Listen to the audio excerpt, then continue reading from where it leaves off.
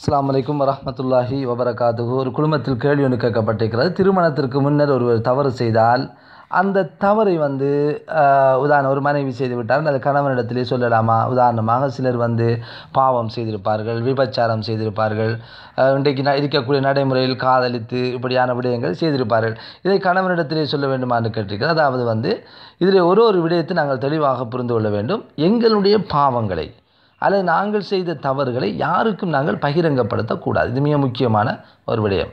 ஏனென்றால் நன்மை நாங்கள் செய்கிற போதும் அதனை பகிரங்கப்படுத்தி லாபம் தேடுவதும் பாவம் செய்கிற போதும் கூட அதை நாங்கள் பகிரங்கப்படுத்தக்கூடாது ஏனென்றால் எங்களுடைய பாவங்களுக்கு பிராயச்சித்தம் அல்லாவிடத்தில் தான் நாங்கள் கேட்க வேண்டும். அதனால் வந்து அல்லா தான் அதை மன்னிப்பார். சில நேரங்களில் நாங்கள் இப்படி கணவன்மார்களிடத்தில் அல்லது வேறு நபர்களிடத்திலே நான் உதாரணமாக விபச்சாரம் சிலர் பெருமைக்காக கூட சொல்லுவார்கள் நான் இத்தனை பெண்ணை விபச்சாரம் செய்தேன் அல்லது இத்தனை பெண்ணோடு தொடர்பட்டேன் காதலித்தேன் என்றெல்லாம் சொல்வார் அது எதிர்மறையான விளைவுகளை அது உண்டு பண்ணும்.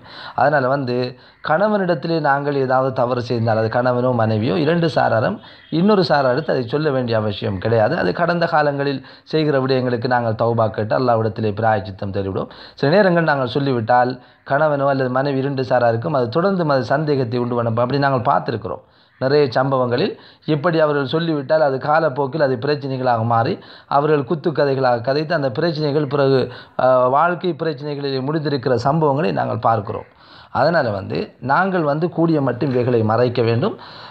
அதாவது சில நேரங்களில் வந்து ஒரு படிப்பினைக்காக சொல்ல வேண்டிய சில சம்பவங்கள் இருந்தால் நாங்கள் பகிர்ந்து கொள்ளலாம். ஆனால் பிரச்சனைகளை உருவாக்குகிற இப்படியான விடயங்களை நாங்கள் கணவன் மனைவிக்கிடையில் பகிர்ந்து கொள்வதை தவிர்த்து கொள்ள வேண்டும் தடை செய்து கொள்ள வேண்டும். என்றால் நாங்கள் இதில் வந்து ஹொனஸ்ட் அதாவது நேர்மையாக இருக்க வேண்டும் என்று முயற்சிக்க வேண்டிய அவசியம் கிடையாது.